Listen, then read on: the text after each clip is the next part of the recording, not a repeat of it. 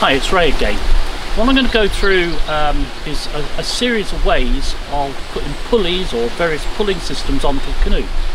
And if you're running whitewater rivers, the, the problem is at some stage somebody's going to make a mistake. The boat can end up then jamming onto rocks.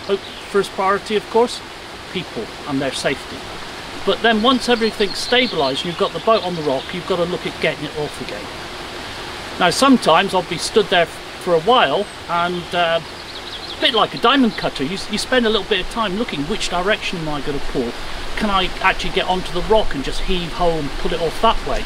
And quite often what I've done is just put a rope on and we've just got as many people as possible, sometimes called 10 Boy Scouts, and you just heave on the rope and heave a boat clear that way. So there's lots of things like that. However, there comes a point where you actually need to start putting um, something that's going to give you a mechanical advantage. So I'm going to look at, first of all, a Z-drag. In a second video, we'll look at a pig rig. And then a final one, which we'll need to do actually with water around, we'll look at a uh, rollover, the more complex. Okay, so we got the starport on here. We can ignore that. That's from my camera boom and that gives me all sorts of good camera angles when I'm paddling there's one front one back. But really looking at this cord and what I'll do when I get a new boat I'll check the manufacturer's cord that they put through there. Sometimes it's thinner than I would like. On one occasion doing a Z-drag a 3 to 1 pulley system uh, we actually put enough force on it to start cheese wiring this rope through the boat. This is climbing rope. It's half rope so it should be I'm thinking around 14 15 kilonewtons that's more than enough. It's going to be weakened by the fact we've got an overhand knot behind it. It's going to be weakened by these edges. All ropes break eventually um, at the knot or at a sharp edge. So one of the first problems is actually getting to the boat um, it may be that the person who swum is still with the boat, they're sitting on the rock, in which case I can use them to attach the ropes. Done that before now and then remove them from the situation before we actually start using the pulleys. Buds are mewing away in the background there. Um, we could perhaps get out to it by paddling another boat out and dropping somebody off, put the ropes in place. Uh, I've swum out before now, but I don't want to swim from above because there's going to be rope or bits of gear in the water and whatever whatever's blocked this I don't want to be involved with. So you've got to make quite some decisions about how you get to this. It may be easy, it may be hard. Once you've got a rope on this, you've got to decide where to pull from. One of the things that I try and do, if possible, I'll try and go higher to try and seesaw it off, but I'll also look at which way the water is forcing it onto the rock and which way is going to be the most useful to pull. You don't always get a choice because you don't always get a choice of anchors but sometimes pulling in one direction or upwards will make life a lot simpler. And my first instinct always is just get the boat, the rope to the bank, get as many people on it as possible and pull. No pulley systems at all. But we'll go to the pulleys. Okay, so I've got a, a variety of throw bags here. I'm actually in my boat I carry two different bags. I actually carry this one, uh, which is from NRS. This one's just over two years old, so it's getting quite a bit of wear and won't be long before I replace this one. It's a very basic bag, and in fact many ways it feels a little old-fashioned. But for the job I use it for, it's brilliant. Uh, it's a figure of eight knot at the end, and I've actually written on this one because I like the information to hand. It's got my name on it, it's got the length, 22 meters, but it's also got the breaking strain which is 22 kilonewtons. So this rope even with knots in isn't going to break or shouldn't break in any situation like that. We'll talk about the problem with, with things breaking within the system. So I really like that. That normally stays on the back of my boat. I use it as a swim line. If I take a swim I think I can get to the shore. I take the end of the rope ahead for the shore but it's also my main rescue bag. Then there's two other bags here both of which I like. Uh, this is the Palm very modern style design and what they've done is just put a very small loop of tape at the bottom which is attached to the rope. That means nobody can get their hand in it which is great. Uh, so in a rescue situation that's fine. On the bag they do it nicely. They say 20 meters and 10 kilonewtons. So that's a nice bag. Good quality rope, nice and round, nice and thick. And then finally this one, which is designed for uh, swiftwater rescue. And like this bag and this bag, you can actually have a harness so it fits on the waist. This one, once I take the bag out, let's just check on this. But because this is designed to be round your waist, and raft guides and like like to do that, I do that quite often now, it's on a release because you don't want it all going wrong in the water. You want to be able to release if the bags come loose on you. So here's the, the rope, again, the, the length 18 meters, and if I look under the flap, it's got its attachment point, which is the rope, but it's got it in a little bag, and that's a clever little thing um, because once I've attached the carabiner, the carabiner can fit in there, it's padded. So if I throw it at somebody, I'm not going to clonk them with a carabiner. Mine, I don't really mind because I'd always remember to take it off with this bag. But what it's got on there, if I open it up, it's got the Water rescue rope, length 18 metres, we've already got, diameter 8 millimetres, don't want to go smaller than that if you're going to use uh, pulley systems really.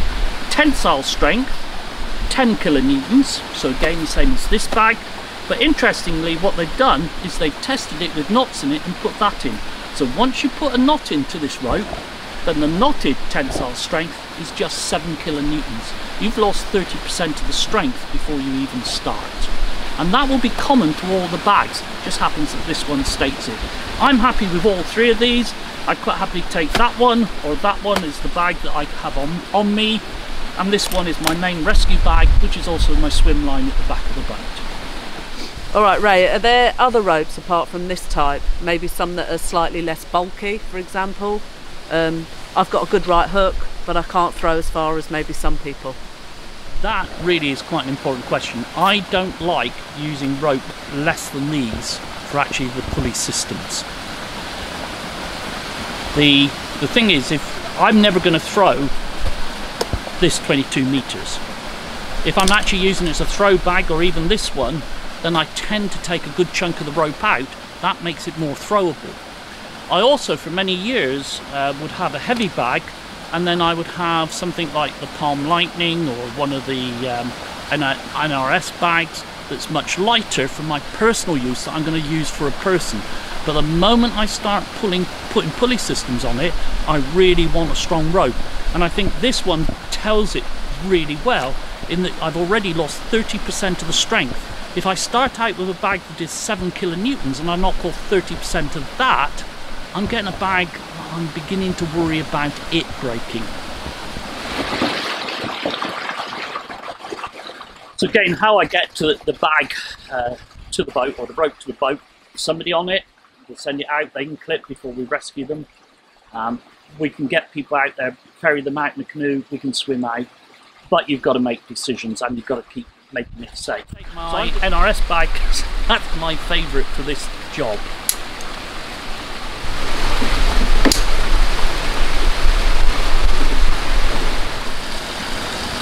This tree is in the right place as my anchor, but looking at it, I've got to make a decision because this down here, how substantial are these two? If I put a major force on it, we'll actually be able to remove it from the tree. And I think it's solid, so I'm going to go with that. It's convenient. If I was doing it for real big, big forces, I think I'd go around this whole massive tree here. Decision if you're using boulders for this job, you might have to take ropes around them, you really want to make sure they're substantial and you really want to look at how they're sitting on the ground that they're on. I've seen incredibly big boulders, somebody said is solid, move, because they're actually sitting on a sliding surface, so there's no real big thing to slow them down. I much prefer to use trees if they're available. So creating the anchor I'll show you what I do.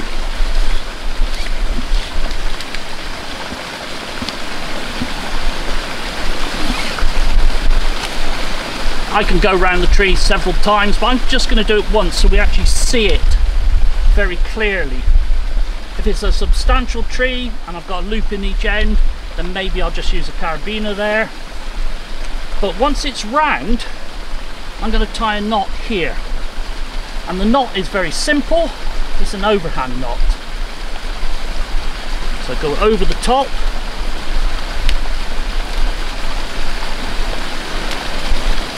And come back through the hole you create.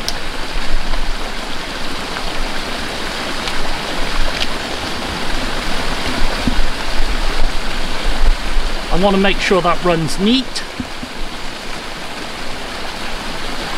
Now, again, it's going to weaken the tape, but there's also another little oddity here. Uh, Dino Held, who worked at Brenin, or works at Plas Brenin, not sure now, went to a test rig to test these to destruction. And we've been using this style knot for a while, and what he found was that the tape didn't break, but if you put enough force on it, this knot started migrating down the tapes and would eventually come off the end. So what Dino recommended, and I've never seen one of these moves, one of these move, but I'll trust Dino on this. I'm going to put a second knot below it. So I've put this second knot in to, to arrest this. And a lot of people, I, have never been particularly worried if it's down there. I've never seen one of these shift and I put a lot of force on them. So I've quite happy to have it relatively loose there but a lot of people are recommending and it's probably good practice to move this knot up. So it's only just below the other one. So the actual slide of the knot gains no momentum. But it's this knot that's got it got the force on it. There's no force on this one unless this one slides. And really this is only to stop that one moving so what I could do now is take this rope, bring it back to my sling and just use a carabiner.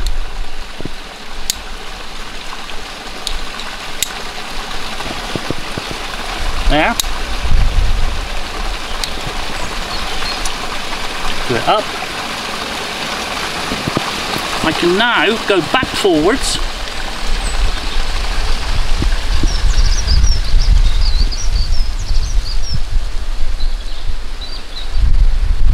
could, if the boat's within reach, take another carabiner, here, screw up, come back, and I've now so the bag is attached to the boat, the rope, so the rope comes to the bag, up to this carabiner, around it, back to the other carabiner onto the boat, and back to me. So this is now a Z-drag. This is a 3 to 1 pulley system. Now, every of force I put in here is going to be magnified by 2 times. Not quite true because we can have friction, we have inefficiency, but that's the theoretical. It's a 3 to 1 pulley. So if I now pull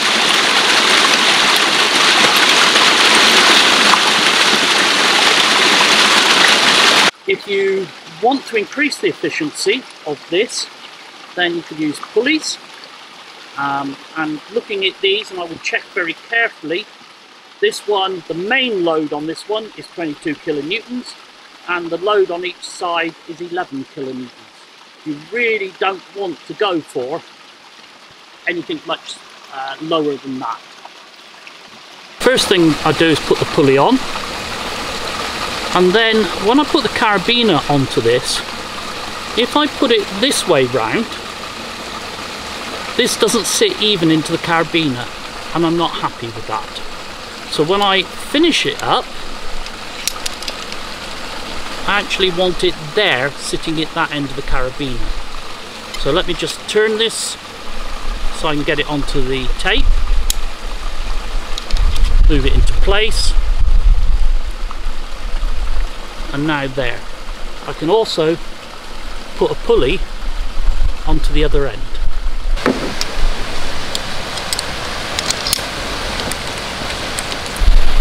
So now, having put the pulleys in, there's a little more efficiency in the system. All that works well if you can reach the boat, get that second carabiner onto it and pull it. But very often the boat's out there, we're stuck into quite a confined space to operate. So what I've done is I've marked with that cane to say that's my working area. That might be the edge of the river, the edge of the ledge, but sometimes you're working in a very confined spot to do this. So what we need is to put an attachment onto the rope. We could put an overhand knot in, but that would be incredibly limiting because we cannot adjust it. So what we're going to do is put a prusik knot on there and that way if we need to we can read. So what I'm going to use is a prusik um, loop.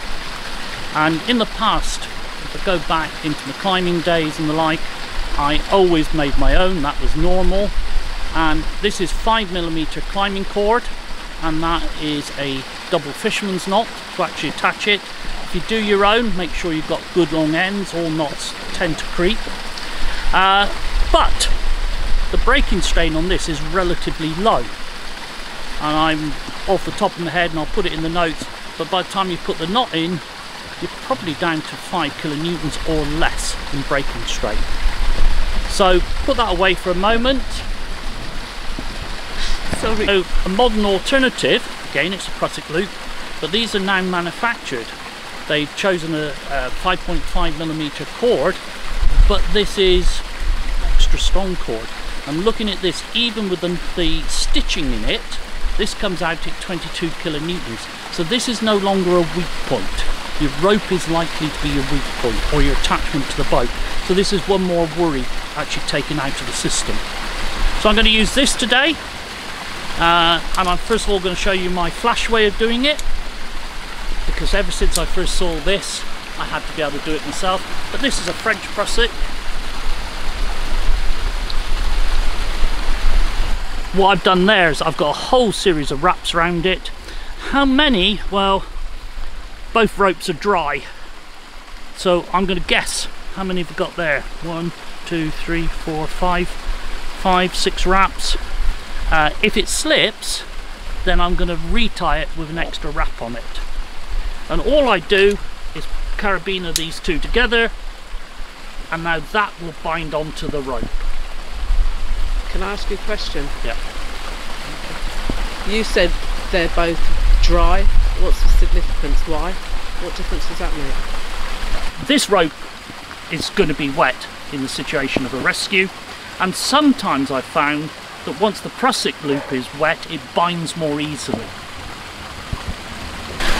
So I had to do the, the flash spinning it round. I saw an instructor do that some 40 years ago and I was so impressed with it I went and practiced. But the reality is, in the real situations, most times I will just wrap it around, get a nice smooth wrap.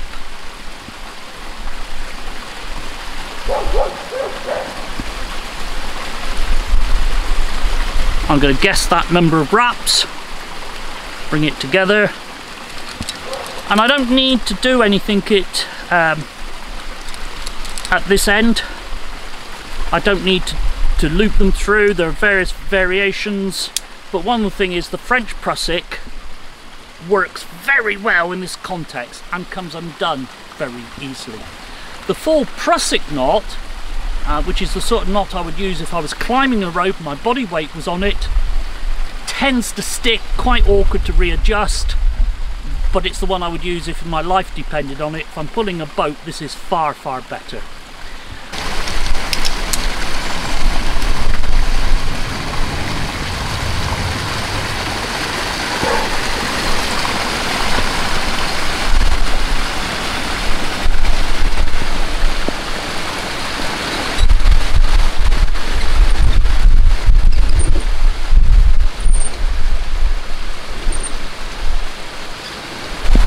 quite easily see the Z shape of this pull system. So the main haul rope from the boat is coming up here, through the pulley, back down into this pulley and off to me there. So we've got a nice Z shape and that again is our 3 to 1 pulley system. And sometimes that's not enough to pull the boat off. And once we get here we'll want to readjust for another pull but as we take the pressure off the boat is going to slide back into its original position. So what I need to do is stop this rope, which is the rope going to the boat, going back that direction. So what I can do is put another prusik knot on here, have it clipped to here, and as we take the pressure off of this, that prusik knot will hold the system, it's like a clutch, and that boat can't move back until we're ready to pull again. Here, I'm just going to do the same. I'm going to wind the rope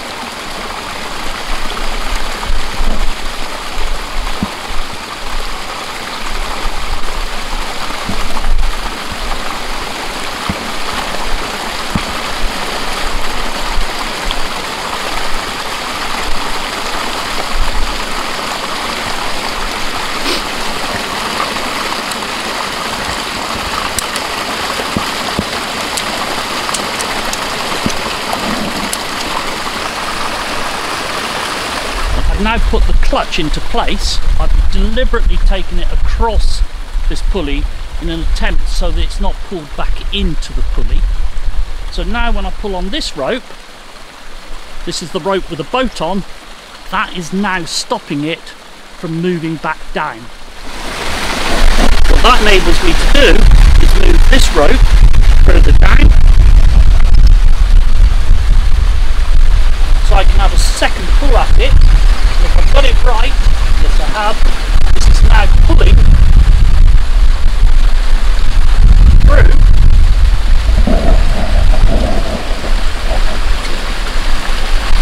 But if I let go that now holds